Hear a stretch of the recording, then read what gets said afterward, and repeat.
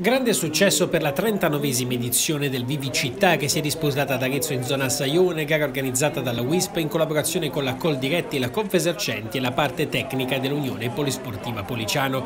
Al via circa 300 atleti che hanno dato vita a una gara molto incerta sia in campo maschile che in quello femminile. Il percorso molto bello e apprezzato dagli atleti per la parte impegnativa del Parco del Pionte e tutta la zona sud della città con ambiente e tranquillità prevalere sulla parte agonistica che pure c'è stata con Taras, Ghinassi e Bucca a condurre nella prima parte di gara e il gruppo della Polisportiva Policiano ad inseguire con Cardelli, Annetti, Mori, Fatichenti e Celli.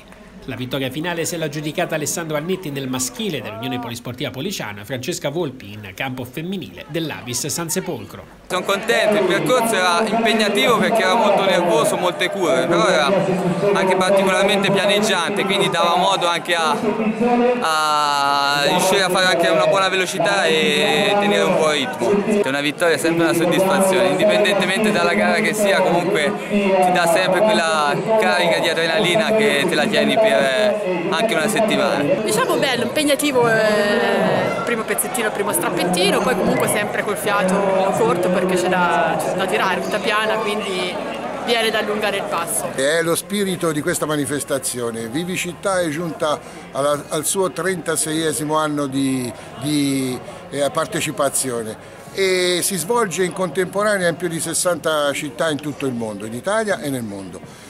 Il, uno dei temi che accompagna questa corsa è appunto quello della vivibilità delle città. Eh, noi qui ad Arezzo la nostra particolarità è che eh, l'abbiamo eh, trasferita e voluta eh, fare ed effettuare qui nel quartiere di Saione.